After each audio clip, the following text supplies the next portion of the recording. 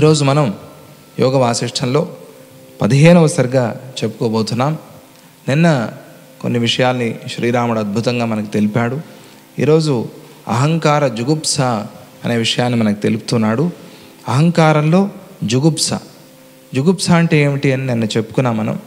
దేన్ని చూడంగానే ఇది నేను చూడకుండా ఉంటే బాగుండేది. ఇది నా కంట పడకుండా ఉంటే బాగుండేది.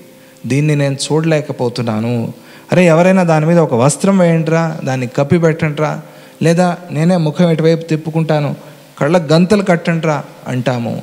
దాన్ని జుగుప్స అంటారు. ఏ వస్తు విషయంలో మనకు అటువంటి భావన కలుగుతుందో అటువంటి దాన్ని జుగుప్స అని పిలుస్తారు. దేన్నైతే మనం మూసేసేయాలి అని అనుకుంటామో దాన్ని జుగుప్స అంటారు.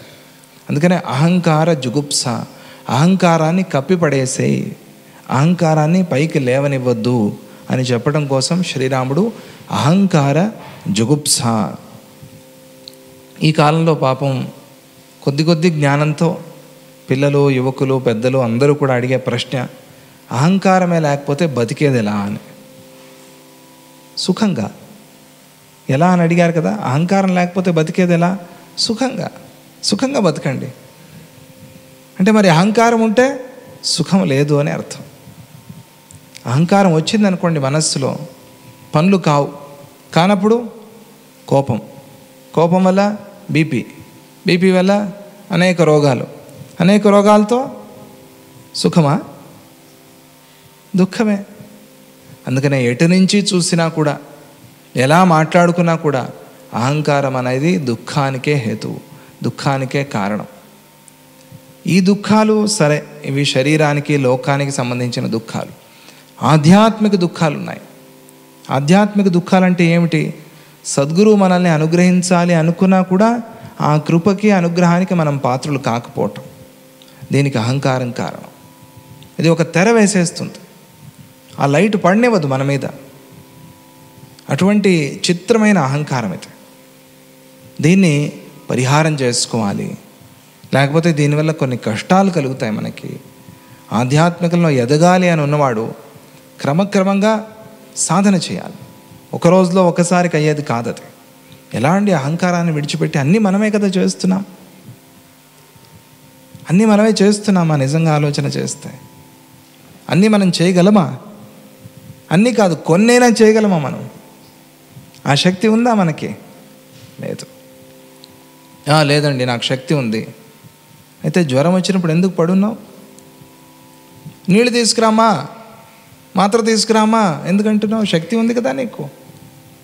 అలా అలా అనేక సందర్భాల్లో మనకి ఉదాహరణ చూపిస్తున్నాడు భగవంతుడు. అన్నీ చేస్తున్నామనే భ్రమలో ఉన్నాము. ఆ భ్రమలో పడిపోయి నేనే అన్నీ చేస్తున్నాను అని అహంకరిస్తున్నాము ఆ అహంకారంతో మునిగిపోతున్నాం. ఈ అహం అనే పదం ఎంత అద్భుతమైన పదం తెలుసా? అహంకారం.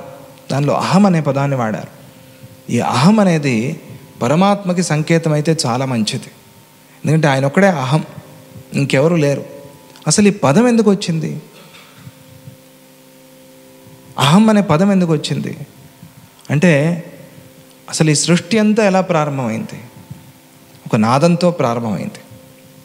ఆ పరమాత్మ ఒక సంకల్పం చేశాడు. సో కామయత బహుశ్యాం ప్రజా ఏయేతి ఆయన అనుకున్నట్ట. ఒకనే ఉన్నాను నేను చాలామందిగా మారితే బాగుంటుంది. చాలా రూపాలని స్వీకరిస్తే బాగుంటుంది అని మనస్సులో అనుకున్నాడు అనుకోగానే ఆయనకి తెలియక ఆయనలో ఒక నాదం పుట్టింది. అని ఉచ్ఛ్వాస నిశ్వాస చేస్తున్నాడు. ఆ ఉచ్ఛ్వాస నిశ్వాస నుండి అక్షరాలు వచ్చాయి. ఓంకారం వచ్చింది. ఆ ఓంకారం నుంచి అక్షరాలు పదాలు వాక్యాలు వేద వాంగ్మయం అంతా వచ్చింది. ఈ వేద సహాయంతో బ్రహ్మ సృష్టి చేశాడు. ఇది క్రమం. ఇలాగే జరుగుతుంది ఇలాగే జరిగింది భవిష్యత్ కాలంలో ఇదే క్రమం అంత ఎవరేం చెప్పినా కూడా వినద్దు నమ్మొద్దు. ఇది సత్యం ఇది. ఆలోచన చేయండి. సృష్టి అంతా కూడా శబ్దం వల్ల జరిగింది. శబ్దం నుంచి జరిగింది. అర్థమవుతుంది మనకు. అందుకనే బిగ్ బ్యాంగ్ థియరీ అనేది వచ్చింది. బ్యాంగ్ అంటే శబ్దం కదా. బిగ్ బ్యాంగ్ ఒక్కసారికి అన్నాడు ఆయన. అక్కడి నుంచి సృష్టి అయింది అని అర్థం. వాళ్ళ క్రమం. మొత్తానికి అందరూ ఒప్పుకుంటున్నారు. అహం అనే పదం పరమాత్మకు సంబంధించిన పదం. ఎలా? ఆ హ. ఎన్ని అక్షరాలు ఉన్నాయి? ఎన్ని అక్షరాలు ఉన్నాయి? అలా చెప్పాలి. రెండు అనకూడదు. ఆ హాలో ఎన్ని అక్షరాలు ఉన్నాయి? యాభై అక్షరాలు ఉన్నాయి. పంచాశత్ పీఠ రూపిణి అంటారు కదా అమ్మవారిని. ఎలా ఉన్నాయి? అకారం నుంచి హకారం వరకే కదా అక్షరాలు. ఆది అంతాలని గ్రహిస్తే మధ్యలో ఉన్నవన్నీ వచ్చేస్తాయి. ఏమండి ఈ మొదటి వాళ్ళు ఆ చివరి వాళ్ళు అందరూ వచ్చేసేయండి. అంటే మధ్యలో ఉన్న వాళ్ళందరూ రండి అని అర్థం. అలాగే అకారం నుంచి అ ఆ ఈ ప్రారంభించి యా రా లా వా శ హ. క్ష లేదు. క్ష మనం రాస్తాం మనకు తెలియటం కోసం. అన్ని అక్షరాలు కూడా అందులో ఉన్నాయి. అంటే సమస్త సృష్టిని నువ్వు సృష్టించావు. సమస్త ప్రపంచానికి మూలభూతంగా ఉన్నావు నువ్వు. అందుకే పరమాత్మ పేరది అహం అనేది. మనం ఏం చేసాం ఎక్కడి నుంచో తెచ్చి మనకు పెట్టుకున్నాం. ఆ బోర్డు మనం వేసేసుకుని ఊరికే బోర్డు వేస్తే స్థలం నీది అవుతుందా? పోలీసులు వచ్చి ఖాళీ చేయిస్తారు. బోర్డు వేసుకున్నాం మనం. అసలు ఎవరిది ఈ ఆస్తి? పరమాత్మది. ఈ అహం ఎవరిది? ఈ అహం. మీ గురించి మీ అందరి గురించి మన గురించి అడుగుతున్నాను. ఈ అహం ఎవరిది? ఈ అహం ఎవరు? పరమాత్మ మనం ఏం చేసాం బోర్డు వేసుకున్నాం. ఇది నా ఆస్తి అని బోర్డు వేసుకున్నాం. తప్పు కాదా ఇది? దోషం కాదా? వేరే వాళ్ళ ఆస్తికి సొత్తుకి మనం వెళ్ళొచ్చా? పరవస్తువు ఎంత సర్పం లాంటిది అది. అలాగే పరము అపరము అనేది లేదు ఉన్నది ఆయన ఒక్కడే. కాబట్టి అంతా ఆయనే. ఆయనది కాదు ఆయనే. ఈ భావన ఎలా వస్తుంది? కష్టం కదా. మనం అన్ని పనులు చేస్తున్నాం అని అనుకుంటున్నాం మనం. వ్యవహారంలో కావాలి. అంతా పరమాత్మేనండి. నేను చెక్ మీద సంతకం పెట్టను అంటే వ్యవహారం ఎట్లా జరుగుతుంది? ఒక కోటి రూపాయలు రాసేసాను తీసుకోండి. సంతకం మాత్రం అడగద్దు నన్ను. ఎందుకంటే అహంకారాన్ని గెలిచాను నేను. వ్యవహారం ఎట్లా నడుస్తుంది? నడవదు. ఆ సమయంలో ఇది వ్యవహార సత్యం. ఇది పారమార్థిక సత్యం కాదు. ఇది వ్యవహార సత్యం. సత్యంలో కూడా మూడు రకాలుగా ఉన్నాయి. ప్రాతిభాసిక సత్యం పారమార్థిక సత్యం వ్యవహార సత్యం ఇది వ్యవహార సత్యం.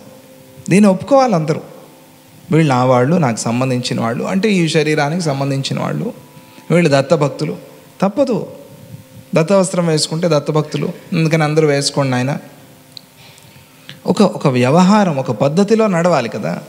లేకపోతే పద్ధతి అంతా పాడైపోతుంది.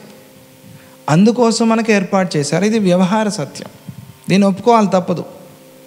దీన్ని గెలవటం అంటే దీన్ని గెలవాల్సిన పని కూడా లేదు. ఆ సమయంలో పోని సంతకం చేస్తున్నప్పుడు సంతకమేమో నా పేరే చేస్తున్నాను కానీ ఈ డబ్బు ఈ డబ్బును సంపాదించే శక్తి దీన్ని దానం చేసే బుద్ధి ఇవన్నీ ఎవరిచ్చారు? ఆయనే ఇచ్చాడు. ఆ సద్గురువు వల్లే వచ్చింది. అనే భావన మనస్సులో ఉంటే చాలు వ్యవహారంలో. అన్ని వ్యవహారాలు చేయి. ఆ వ్యవహారంలో ఒక దృష్టి ఉండని నీకు. ఎంతోమంది ఈ స్వామిజీ కంపెనీ అండి ఇది అని అంటూ ఉంటారు. ఆశ్చర్యం అందరికీ. స్వామిజీ కంపెనీ పెట్టించారేమో అని. స్వామిజీ పెట్టించారని కాదు వాళ్ళకి ఆ భావన. స్వామిజీ కంపెనీలో నేను పని చేస్తున్నానంత. వాళ్ళే వాళ్ళే పెట్టింది అది వాళ్ళే స్థాపకులు. కానీ స్వామిజీ కంపెనీ ఇది. స్వామిజీ ఫ్యాక్టరీ ఇది. దానిలో నేను ఒక పనివాణ్ణి. అలా ఉంటే ఎంత బాగుంటుంది. నేను ఒక పనివాణ్ణిగా పని చేస్తున్నాను అంతే కాకపోతే ఈ పని వాళ్ళందరినీ చూసుకునే పనివాడిని అంత. వీళ్ళందరి బాధ్యత తీసుకున్న పనివాడిని అని చాలామంది దత్తభక్తులు అట్లా సేవ చేస్తూ ఉంటారు. ఇదంతా కూడా సద్గురువుది అనే భావన మనల్ని వ్యవహారం నుంచి గట్టెక్కిస్తుంది. వ్యవహారంలో కష్టాలని దాటిస్తుంది. అది లేదనుకోండి ఆ దైవికి భావన పోతుంది. దైవ భావన పోతుంది మనస్సు నుంచి. ఆసురీ భావన వస్తుంది. ఆసురీ భావన వస్తే నువ్వు తెర వేసేసావు గోడ కట్టేశావు ఇంకా రావాల్సిన కిరణాలు రావు లోపలికి. ఈ ప్రమాదం ఉంది కాబట్టి అహంకారాన్ని గెలవాలి. ఆధ్యాత్మికల్లో ఇంకా సరే చెప్పాల్సిన పనే లేదు. ఒక ఒక సర్గే దానికోసం చెప్తున్నారు కదా అహంకార జుగుప్స అని. జుగుప్స దాని మీద అసహ్యం కలగాలి. ఎప్పుడెప్పుడు అహంకారం వస్తుందో అప్పుడల్లా దాని మీద అసహ్యం కలగాలి. చే ఏమిటి అహంకారం వస్తుంది? అని అనిపించాలి మనస్సు. పదే పదే పదే పదే గుర్తు చేసుకోవాలి.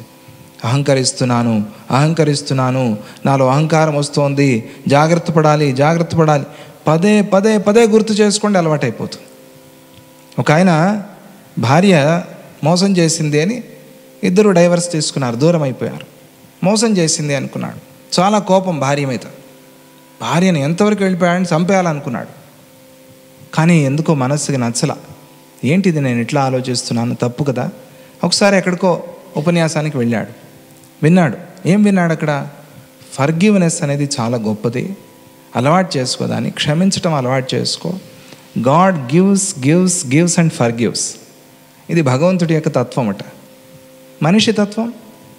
ఏమిటి? Man gets gets gets and forgets తీసి తీసి తీసుకుని మర్చిపోతాడు. ఆయన ఇచ్చి ఇచ్చి ఇచ్చి క్షమిస్తాడు. పర్వాలేదు. ఎందుకంటే ఇచ్చింది మనం సరిగ్గా వినియోగించం. గివ్స్ గివ్స్ గివ్స్ అని మూడు సార్లు అన్నారు అక్కడ. అంటే మూడు రూపాల్లో ఇస్తాడు మనకి. కానీ ఫర్ గివ్స్ చివరికి మనం మర్చిపోయినా కూడా ఆయన ఆ ఫర్ గివ్నెస్ అనేది భగవంతుడిలో గొప్ప గుణం. నమ సహమానాయ. ఆయన క్షమిస్తాడు. ఎందుకని? ఓర్చుకుంటాడు పాపం. క్షమించడం అంటే ఓర్చుకోవటం అని అర్థం అంతే. ఆయన ఓర్చుకుంటున్నాడు. మన విషయంలో సహమానాయ. పర్వాలేదులే. మరి ఎలా దీన్ని గెలవటం ఎలా? ఈ అహంకారాన్ని గెలిచేది ఎట్లా? అందుకనే ఆయన అనుకున్నట్ట ఓహో ఇది చాలా గొప్ప గుణం దీన్ని అభ్యాసం చేసుకోవాలి నేను అని పాస్వర్డ్ మార్ మార్చాట. మొన్ననే ఎప్పుడో ఎక్కడో చదివాను. పాస్వర్డ్ మార్చాట. ఏమని మార్చాడు? ఫర్ గివ్ హర్ అని మార్చాట. ప్రతిసారి తాను కంప్యూటర్ ఏదో ఓపెన్ చేసినప్పుడు ఉంటాయి కదా పాస్వర్డ్స్. ఫోన్లలో అన్నిట్లో ఉంటాయి కదా. ఓపెన్ చేసినప్పుడు పాస్వర్డ్ కొట్టాలి అక్కడ. తన పేరు ఉంది పాస్వర్డ్ అడుగుతుంది. ఫర్ గివ్ హర్ అని కొడుతున్నాడు నెల రోజులు అయిన తర్వాత చాలా చిత్రంగా చూడండి. పదే పదే అభ్యాసం చేస్తే అభ్యాసేనతు కౌంతేయ వైరాగ్యేణ చగృహ్యతే కృష్ణ పరమాత్మ మహా మేనేజర్ ఆయన. మేనేజర్స్ అస్ ఆయనకన్నా గొప్ప మేనేజర్ ఎవరు లేరు. ఏమిటి మేనేజ్మెంట్ స్కిల్స్ అని చెప్తాడు మనకి. ఇది లైఫ్ మేనేజ్మెంట్ స్కిల్ ఇది. అభ్యాసేనతు కౌంతేయ. అభ్యాసం చేయి. ఆనందంగా ఉండు. ఎందుకు అభ్యాసం? ఆనందం కోసం. టైప్ చేశాట క్షమించు క్ష నెల అయిన తర్వాత అసలు మనస్సులో ఆమె అంటే కోపమే లేదుట. కోపం పోయింది కాదు ఆమెను చూడటానికి వెళ్ళాట. వెళ్ళి పలకరించాట. పలకరించిన తర్వాత అనిపించిందిట అయ్యో ఈమెమీ తప్పు చేయలేదు నేను అనుకున్నాను తప్పని. మళ్ళీ మనం కలిసి ఉందామా అన్నట్టు అయ్యో ఏమిటండి ఇట్లా కోర్టులో డైవర్స్? అవన్నీ పర్వాలేదు గాలికి పోతాయి. ఎవరు అడుగుతారు మనల్ని? చూసారు ఎంత పని చేసింది అభ్యాసం అనేది. అలాగే క్విట్ స్మోకింగ్ పెట్టాట. స్మోకింగ్ మానలేకపోతున్నాడు. పాస్వర్డ్ పెట్టాడు. క్విట్ స్మోకింగ్ మానేసేయని ప్రతిసారి కొట్టడం. Quit smoking quit smoking password అలా క్రమక్రమంగా క్రమక్రమంగా అభ్యాసం అయిపోయి తగ్గించి తగ్గించి తగ్గించి ఒకరోజు చివరికి హీ హీ క్విట్ స్మోకింగ్ అది అద్భుతమైన సాధన. అందుకనే పదే పదే అనుకుంటూ ఉండాలి. అప్పుడే సాధన అవుతుంది.